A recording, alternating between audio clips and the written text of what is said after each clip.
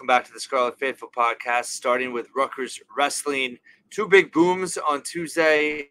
Wrestling commits. First off, Mason Gibson, the lightweight uh, high schooler from Pennsylvania, uh, who was previously committed to Penn State. His brother is actually in that program. He was also previously committed to Cornell uh, and uh, had a great senior year, made it to the state semifinals, had over 40 wins, went 72 and 10 in his high school career now going to be a Scarlet Knight, visited in recent days. Always great to have a recruiting win and flip a guy from Penn State, the national champs, and obviously um, overwhelming national powerhouse in the sport. And uh, Rutgers now gets a very talented uh, young wrestler in the lightweight, uh, you know, whether it be 125 or 133 remains to be seen. But uh, another great uh, talent to add to that room. And uh, in addition, Rutgers followed up and got a uh, transfer uh, from the portal. Uh, Oregon State transfer Dagan Condomiti, also a Pennsylvania guy, uh, was at 157 uh, for the Beavers last season, but redshirted. but was three-time state placer in Pennsylvania, was seventh, fourth, and third in his career at Northampton.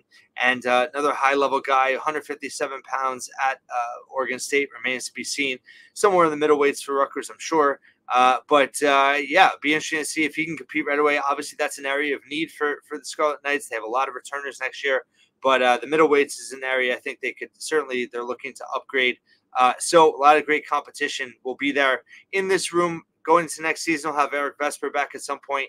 Didn't actually get a chance to catch up with him following NCAA championships, but want to do a Rutgers wrestling update with him very soon. Also, wanted to uh, shout out Epiphanny Prince, one of the best players in Rutgers women's basketball history, officially retiring uh, after a uh, lengthy pro career, both in the WNBA and overseas. Uh, she was a key piece on the 2007 uh, Rutgers team that made the national title game. Uh, and she had a, a, big basket, basically game winning basket against Duke in the Sweet 16. She led that team in 2009 as a junior to the Sweet 16. She finished uh, over 1,500 points in her career in just three seasons.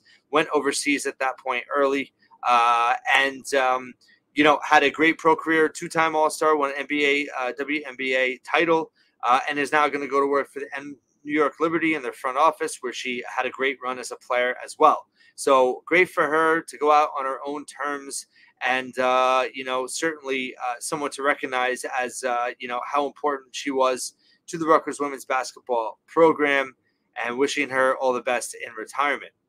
Now, wanted to touch on Rutgers men's basketball and really focusing on the center position. You know, I've had some thoughts on it recently, just in terms of obviously the center market is, uh, you know, in terms of NIL demands and kind of some of the big names coming off now and some of the reports. I mean, it's um, very competitive in terms of NIL really high numbers being reported and being reportedly asked for by some of these candidates. And, uh, you know, unfortunately, Rutgers just isn't in a position to land a top uh, center transfer right now, just in terms of where the NIL demands are. There was some official news, done some back and forth, had some discussions with people, and I've been reading up on it, but it was very confusing. Like, even on the NCAA site, uh, recently, uh, you know, they had contradictory information, but it is official now. It was passed on Monday by the NCAA that starting on uh, this May 1st, which was the deadline for undergrads to enter the portal, it is now the deadline for grads,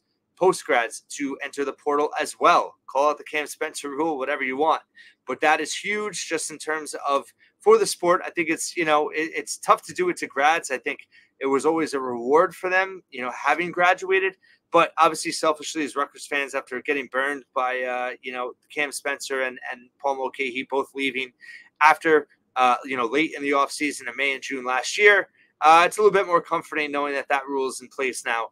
And uh, the, what that's going to do is, right, this next week's going to be wild. You're going to see uh, some players come out that maybe were waiting it out uh, in terms of the market. Uh, it's going to help teams kind of control demand in the market in terms of, you know, uh, not uh, first of all, it's going to reduce tampering post May 1st, right? Because everyone's going to be locked in who's not in the portal. Uh, and then also, it's going to allow things to shake out quicker uh, in terms of, you know, there are going to be no portal surprises late in the offseason. So I think you're going to see Rutgers kind of wait it out here in this next week or so and see see what kind of uh, develops. Uh, there was some news on uh, Wednesday with Supreme Cook, uh, former Fairfield player under former Rutgers assistant Jay Young, uh, was at Georgetown this last year, averaged 10 and a half points, eight rebounds a game. Uh, more uh, kind of a Steve Pikiell fit, just in terms of his being a defensive first big man who can rebound. so he is an intriguing name to watch. No, not saying Rutgers will pursue him. I don't know. It's too early to know, but you know, could be uh, a, a, attainable and a target uh, could be a person of interest that Rutgers might pursue here. Obviously, uh, Jay Young connections, uh, you know, can't hurt from a uh, Steve Pikiell uh, perspective. And that leads me back to the bigger picture in terms of what is Rutgers going to do. I've talked about how I think Lathan Somerville is definitely going to get some run early on. Is it going to be a platoon with another portal guy they bring in?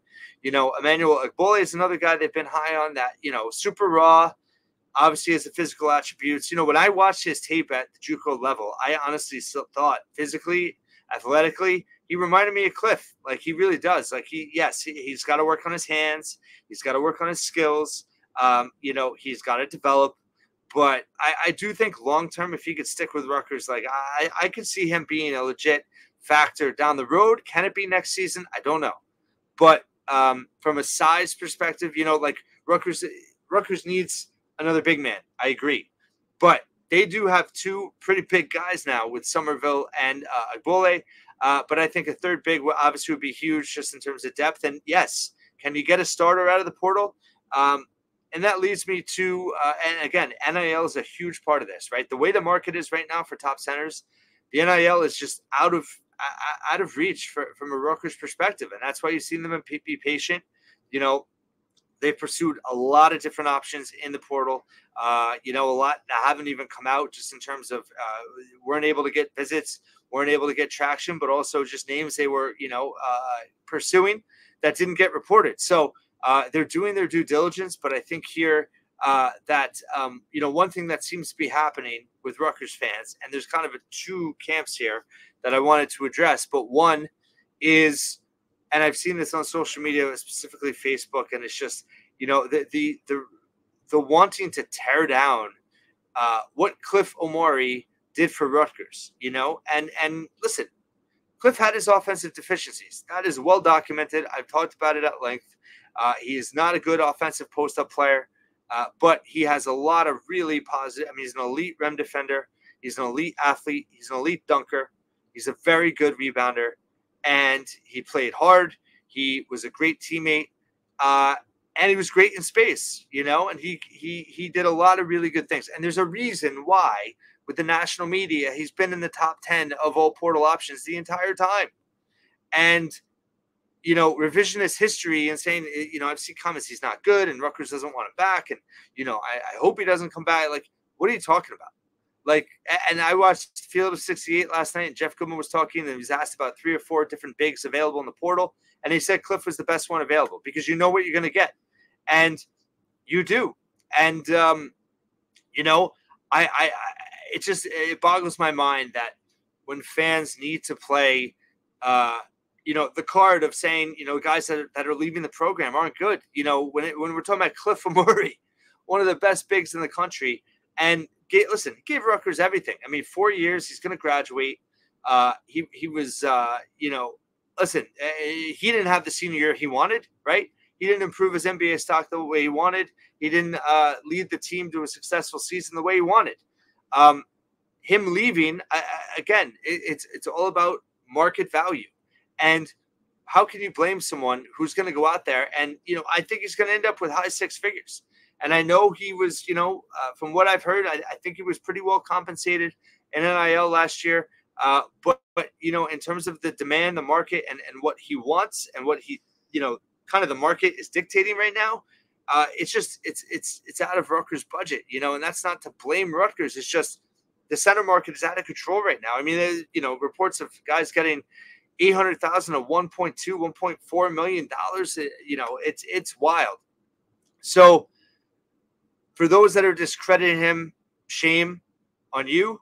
And for those uh, sympathetic souls that I am not trying to disparage in any way, that keep trying to talk themselves into the fact that Cliff could come back. I just listen. You can never say never, but it is highly unlikely. There's a lot of coping going on on social media, uh, talking about how you know Cliff might want to come home. That you know he's going to see that you know, how can he not realize he's going to play in front of NBA scouts all the time with Dylan and Ace around and how, you know, it's an ideal fit for him now and he's got to come back. And listen, you know, it's it's it's a business decision, you know, and if you could leave your job, right, for you know, money that's what four, five, six, seven, eight times more than you've ever made before, right? Who who in the right mind would not listen to that and, and explore those opportunities? And those that are saying, "Oh, you know, he's making a mistake and you know he's getting passed by," listen, he's he's doing his due diligence. He, he put out a list with Jon Rothstein last week with like 12 schools on it. He just started taking visits. He visited Georgetown this past weekend. He's reportedly at Kansas State today. He's reportedly visiting Alabama this weekend. I mean, these are big time programs. I, I, know I know the you know inferiority complex at Kansas State. You know, Rutgers should be able to compete with them. I mean, listen, know, they made an Elite Eight two years ago. Jerome, Jerome Tang has a lot of juice. Uh, there's NIL money there, you know. And uh, listen, Cliff should explore whatever he wants to explore. And him not coming back to Rutgers isn't a negative on Rutgers, and it shouldn't be a negative on Cliff. I just think that those are hoping he's going to come back. I, you know, listen, I don't want to kill hope. Keep hope alive if you want, but it's just a very unlikely scenario. Uh, and and just because and and these things in life, right? Life is not black and white. Everything's gray. So just because from our perspective he'd be a perfect fit back for Rutgers doesn't mean that's reality in his mind. And you can't fault him for that. You know, you got you, you gotta we gotta let it go. That's that's my take on it. I, I just think that um, you know it, it's uh, Rutgers is gonna find a center, and sure, it'd be great to have the roster wrapped up, but you have to let things play out. And I've talked about this before that you have to let the market play out because you might end up in a situation. I mean, there are not 50 programs that are going to pay out high six figures for a center, but there might be 50 big men that want that. That might not be actually value that, right? But maybe you get a top 30 guy that was holding out for a big time offer and all of a sudden the well dried up because those programs have, have found their guys, right? And Rutgers can swoop in. You never know. Uh, so, I, and I also, again, I think that maybe some expectations that people like, I think expectations are out of whack because you have expectations that Cliff's not good enough and they need to get a, a better big. But Cliff is a top five big in the portal. Like, who do you want? Oumar Ballo from Arizona, who's going to Indiana now? Like, if, if Cliff isn't good enough and you want a big time center, then you're talking about like two or three guys, you know, that, that would fulfill that. You know, and Amari Williams is a big name. He's going to Kentucky. So I think it all stems from a positive, right? Because hope is high, expectations are high, as they should be. You get two two All Americans, two of the top five, top three players in recruiting class uh, coming in that are projected top five lottery picks. Uh, and Dylan Harper, I've talked about it at length. I don't need to go into it, but he, he's special. He's different. His experience level at this stage in his career. And then Ace, obviously, you know, I mean, listen, he has uh, top pick potential from a talent perspective. Uh, and then, you know, I think what they've done in the portal is they, they've, they, they're, it's all about fit. And you get a top 10 national scorer in Tyson Acuff. You get uh, a, a uh, sharp shooting uh, big that can stretch the floor that played in the Sweet 16, Zach Martini. You have a, a versatile player of the year and player, uh, defensive player of the year from their own conference coming in. Uh, so it, we're talking about Dur- Derkack. Uh, and, and obviously the search continues, right? And they had Jadon Jones visit recently. Uh, you know, root for Butler in Oklahoma to st- stock up on guards and wings. Uh, Oklahoma got a guard commitment recently. Butler's pursuing another one. Uh, he's supposedly going to, you know, potentially visit both of them. Not in ton of other names linked to him. I found Mississippi State somewhere in terms of social media, their fan base saying that they were interested in him, uh, like the program had reached out or whatnot. But um, we'll see. We'll see if they can land a Jadon Jones in terms of you know a three and D guy. I think they need to fill that profile. The way Rutgers wants to play, they don't want to get a big that can post up 15 times a game. You know, they need a big that can operate in space that can stretch the floor. And honestly, they're they even if it's not a top name, they might find a, a, a center that plays a style that fits better with what they want to do offensively because they want to space the floor. Cliff is not a guy that is comfortable on the perimeter. And, you know, I, I just think things can still work out in a way that can benefit this team in the long run. And, you know, you have to wish Cliff well. And, and I understand the fantasy of wanting him back. And listen, if it worked out, it would be unbelievable. You take him back in a heartbeat. But it's just funny to me that people complain about the deficiencies of Cliff. And it's like, you know, talk bad about his game, but yo, that's why he should come back here. Well, okay, like you want him back, but he's not good enough to leave. Like it doesn't, you know. I, I just, I guess it's coping. I don't know. I'm not trying to be like get off my lawn. I probably sound like it. I'm getting grumpier in my old age. I recently, uh, you know, passed the moon for another year, and uh, so that's uh, just my little rant there. But I think you know, wish Cliff well. He got us, and it goes back to COVID, right? I mean, if COVID never happened, Cliff is done, right? Would not have this opportunity. Paul would have ended his career at Rutgers. Uh, Mag would have ended his career. Uh, no word on him, but you know it doesn't sound like there's a lot of high major interest there. That'll be interesting to see where he lands. Uh, so we'll just have to see. But in terms of uh, and also, oh, Antwone Woolfolk, I forgot to mention, landed at Miami, of Ohio. He's going to the MAC. So you have uh, Derek Simpson now at St. Joe's. You have Wolf at Miami of Ohio. You have Antonio Chol at Howard, and you have Gavin Griffiths at Nebraska. Um, you know, I think Nebraska is a good landing spot for Griffiths. I don't think that that was ever part of the plan. I don't think that you know, uh, East Coast guy uh, ever had a plan to go to Nebraska, but I, and they just uh, got Connor Essegian as well from Wisconsin. So be interesting to see what kind of minutes Gavin gets there. But I do think offensively, it's a good system for him. And, uh, you know, defensively, it is not really a major focus there. Hoiberg's a great coach. So good for him. Good for everybody that left. You know, be happy for them. And let's be happy for who Rutgers has coming in. And let's wait and see. I know patience is a virtue. Patience is tough right now. I do think with the May 1st deadline, we're going to have a little bit of wait here. Uh, but Rutgers has two spots to fill. They have an opportunity. Like I said, Bart Torvik's projections, I said this in a recent podcast, has Rutgers analytically ranked 24th as the roster is constructed right now. Obviously, other teams are still building as well. St. John's just landed their first transfer, by the way. Seton Hall's got seven guys in the portal. Like, this is just life in college basketball now. This is not a Rutgers problem. This is an everyone reality. Welcome to college basketball in 2024.